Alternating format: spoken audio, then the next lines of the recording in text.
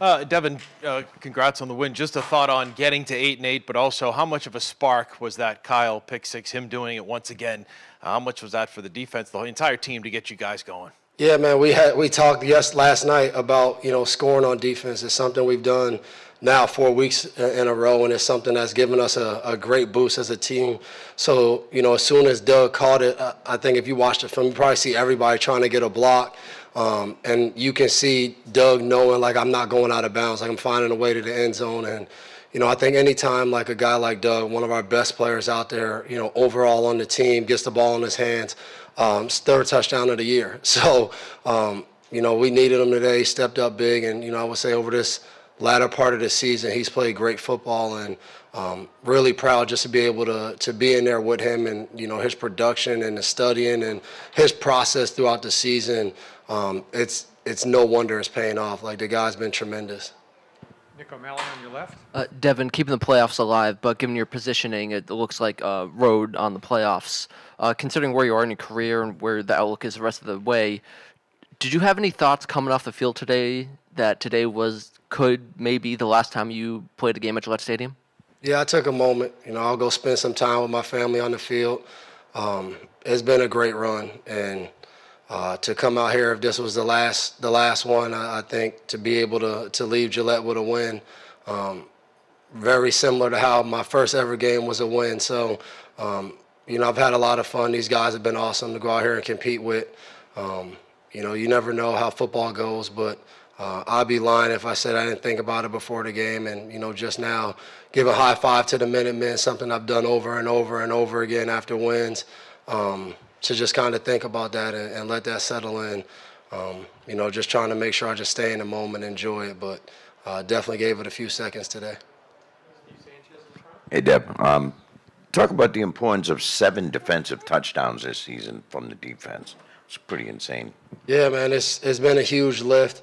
Uh, I think we got a lot of guys. We get the ball in our, in our hands, trying to score. Um, but uh, again, like I said, I think it's the group as a whole. Like you see everyone is trying to get a block. Everyone's trying to lead the guy into the end zone. Like we've talked about that, turning those turnovers into points.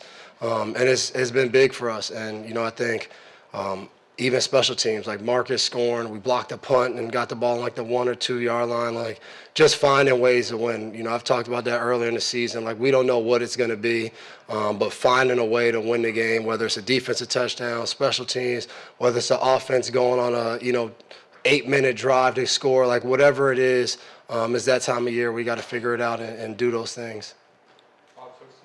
Hey, Devin, um, among those thoughts that you had today about this being the home finale, uh, how important was it? You mentioned your family to see Jason down on the field. I mean, your twin, who you've uh, you know had careers together with, and now he's been out for a year. Just to have him here in attendance today, what did that mean to you? And you know, how, how much do you value that opportunity to play before him today? Yeah, man, that's my guy. Um, just so many ups and downs throughout my career, uh, individually, different things. Um, just being able to rely on him and count on him. Um, it was cool. You know, this is the second time he's been able to come to a game as a fan. You know, he's a working guy now, so he worked the Buffalo game. Um, but, you know, I, I think for both of us, our relationship, the bond of just pushing each other. And, you know, I know he's on edge watching, just like I used to be on edge watching him play. Um, but it's it's been a great joy to to grow up with somebody and have a dream um, and accomplish that dream and get to do it together uh, for three years. But to just watch each other um, do something that a lot of people told us would probably be impossible for one of us to do, let alone two of us to do it. So. It's like running a race next to your best friend, and at the end you just tie each time. And you know we've had a, a lot of fun watching each other um, and supporting each other throughout our careers. Mike Giardi, the front. Dave, you guys have obviously experienced some horrible lows this year, some losses that have put teams down and they don't get up from. And times maybe this team was teetering, like it didn't, look, at least from the outside looking in, didn't like maybe you would get up. The fact that you did get up, the fact that you have a game next weekend that means something for postseason, what does that say about this group? Character. Um, I don't know what game I said it after or before, um, but I don't think we have the, the men in that locker room to have a character to quit. You know, I think each guy in that locker room all has a story of how they got here. We got a guy like John Jones, undrafted. We got a guy like Kyle Dugger, D2 guy, Judon, D2 guy. They're two, they're two best players on defense. Um, and I think that that character, that just determination to you know be on top as individuals. I think motivates this team to stick together and play together.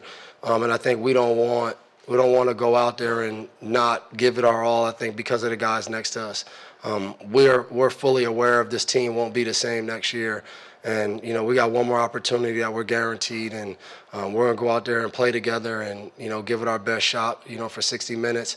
Um, and I think that's something we can live with. You know anything else, uh, I think will crush us as individuals, and I think that's why you see this team gonna come out here next week, practice our butts off, and go out there in Buffalo and try to get into the playoffs. Matthew just said, you're going to the Hornets' nest now. It used to be vice versa, right? All the AFC East teams. What does it feel like to sort of have the shoe on the other foot, but uh, again, have an opportunity? compete, man. Uh, it's uh, it's fun going in there because you know, you know everybody hates you in there, and you know you know if you don't come with your best shot from the beginning of the game, like that that thing could get ugly, and they're gonna go. Um, so if you want to, you know, I said a few weeks ago, uh, if you want to be a team that's playing in the postseason, like these are the kind of games you got to enjoy going to, uh, and go out and, and get a win. So we'll have we'll have a lot going. You know, they're a tough football team, and you know we'll watch them Monday night against Cincy, um, and go out there and give it our best shot. Last question, Steve. I was watching that pass of Bridgewater. Did, did you have just turn the wrong shoulder or something, or what was the on that? Oh no, that was just a excuse my language, just a play by me. Uh, just got to catch the ball. And luckily, uh, we won today because if not, that would have been all I thought about. Possibly as my last uh, game here at Gillette. I was trying to make it easy for you. So Yeah, yeah, no, I appreciate it.